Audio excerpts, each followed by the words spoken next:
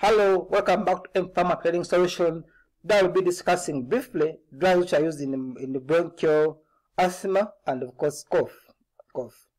Now, what is uh, bronchial asthma? Of course, you know that bronchial asthma is a chronic inflammation of the bronchial tubules or airways, which is characterized by hyperactivity, especially what we call abnormal sensitivity of the airways to the wide range of external stimuli such as dust, pollen, name them.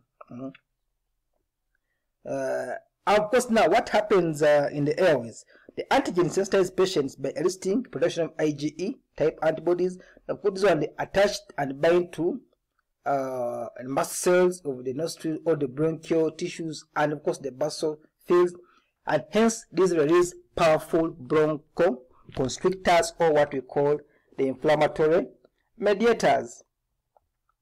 Now, which are those bronchoconstrictors? So the, we have the leukotrienes, eh?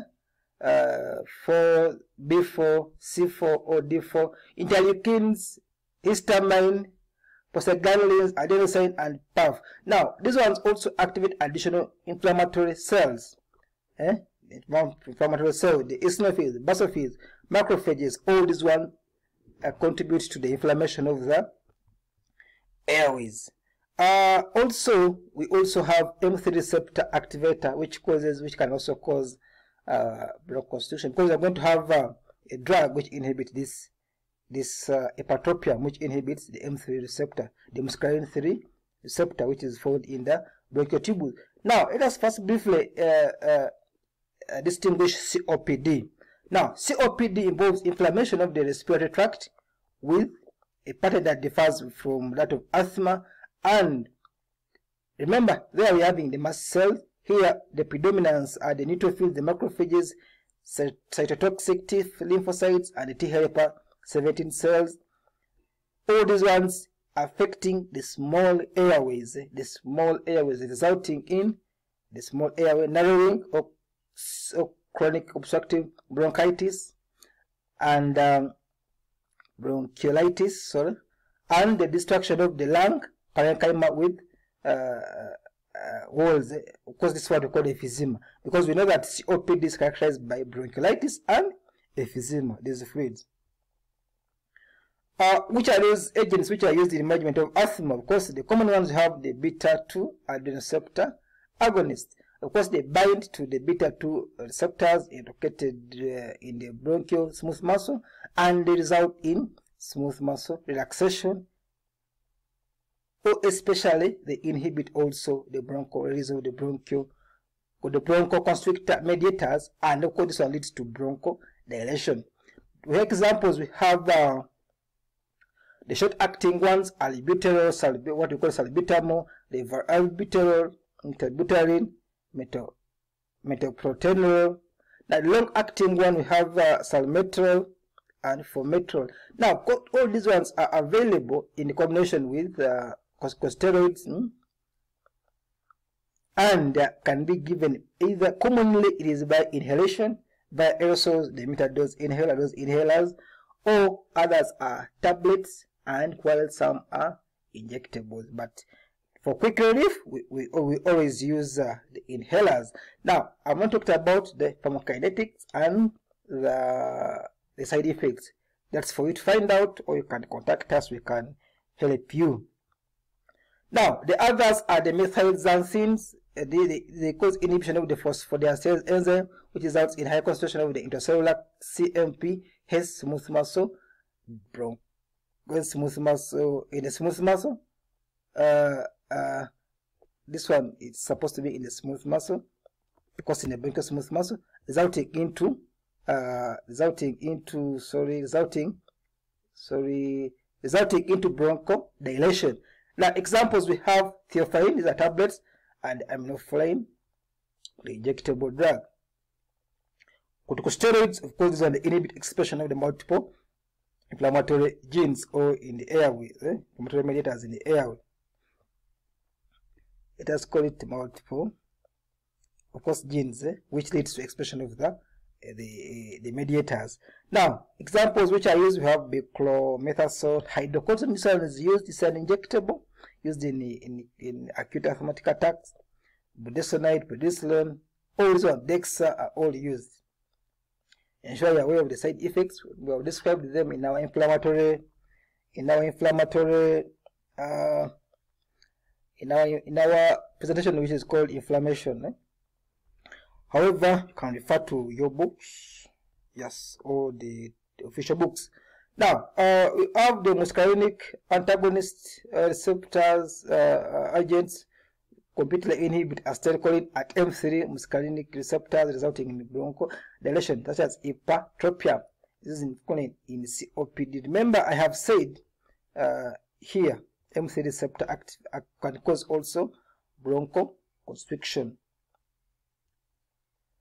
Now, uh, we also have the uh, antileukotrienes the zafirlukast, montelukast, or pranlukast, these are selective inhibitors of the uh, uh, agonist of this the the, the, the inhibitors of the of the of the receptors. Sorry, the selective antagonists of the cysteine receptors in the airway, zafirlukast, montelukast, and pranlukast. Also have the zileuton, which inhibits the five the five lipoxygenase and of course this one responsible for uh, synthesis of the leukotrienes within the air of course this one the inflammatory mediators.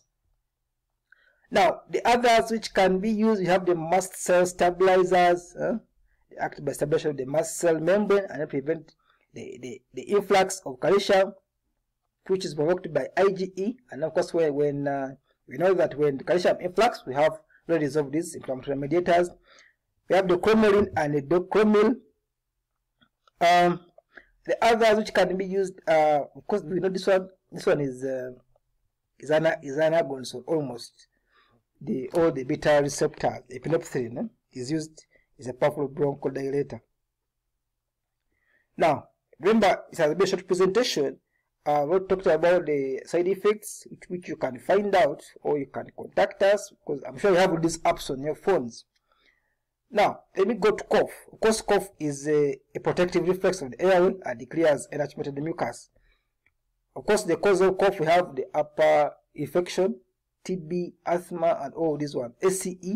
Now, uh, ACE inhibitors, of course, we know that ACE inhibitors, we don't treat the cough, but we just change to ARB. And of foreign substances. Now, of course, cough is due to irritation of the bronchomucosa uh, sends a firing process to the cough center in the medulla and the firing process uh, via the parasympathetic or motor nerves to the diaphragm and the intercostal muscles and causes increased contraction of the, of the diaphragm and abdominal intercostal muscles and hence the noise expression. Because when we are talking about the most of the drugs, we shall be saying they inhibit the cough center the impulses in the cough center in the medulla. Now, which are those drugs which are used in management of cough? Of course, the common ones which we have are opioids, which suppress the cough cough reflex, the acting in the cough center in the medulla, as said above, by raising the threshold for uh, for cough in the medulla. They are well absorbed from the these available tablets. The common one we have is codeine. Eh? Pretext with codeine, you know, you know it. Because I have cancer follicle and even other other others can be used eh?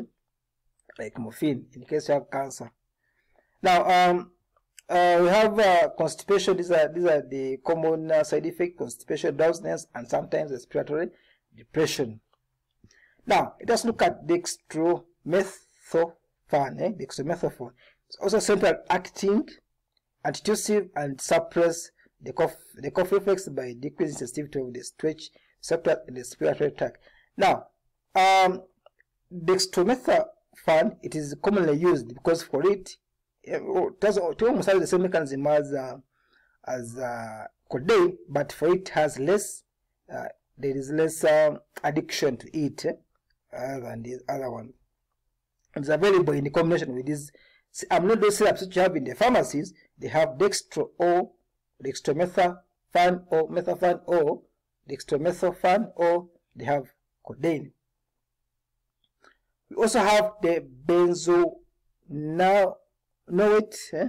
benzonatate. This is of course uh, it is uh, the spelling, I don't know, the spelling, um, these are, these are, uh, and, and like anesthetic, of course they numb the, the throat and then the, now, the nerves within the, within the lungs, and then of course they prevent the impulse generation. We can, so, we can also have the mucokinetics, eh? mucokinetics, stimulate the flow, respiratory tract infection, and then aid in clearance of the mucus from the airways. Now, most of the drugs which have in the pharmacies, they are, these ones available in combination. Guanifacin, eh? Guan, guanfenicin, sodium or potassium citrate, ammonium sulfate, all these, or, sorry, ammonium salts, all these ones are used, they can be used in COPD. We also have the mucolytic agents. They decrease the viscosity of the mucus by splitting the disulfide bonds of the mucoproteins, such as carbocysteine, acetylcysteine, cysteine, and the common one in the pharmacy, I think it has bromhexine and ambroxol. These ones are common. They are mucolytics. Eh? They increase the explosion of the mucus. Now, remember this has been a presentation on, on asthma and cough medication. Now, for the antibiotics uh, or for infection, we shall cover them in a separate presentation. Here we are just we're not covering talking about them. Uh, we, we also have the other ones which are used. We have the systemic decongestants, hmm? such as pseudoephedrine. Uh, again, we can use uh, some some some some some of these uh, syrups you have can again contain salbutamol, bronchodilation, because they cause bronchodilation. Hmm? Bronchodilation. Now, we also have uh, um, antihistamines, which are used um, in second generation one cetirizine, levocetirizine can be used in case having those running nose. Now, However, we also have the nasal drops. Eh? I need to put about those nasal drops, like sodium chloride, eh? nasal drops. Another one is oxy, oxy, oxy something. I'm forgetting that name. Huh? The nasal drops, which I'm sure you can give us, you can give examples. Since I've hinted about them, I'm sure you can get them. And other drugs which I have missed. I said for antibiotics, they will be covered in a separate presentation. Uh, I always remain Wilson from M Pharma Training Solutions. Always contact us for more information, for more clarity. You can leave a comment on how we can improve. You can like our video. And in case you haven't subscribed, give us that subscription or that thumbs up. We shall always help you. Contact us and thank you very much.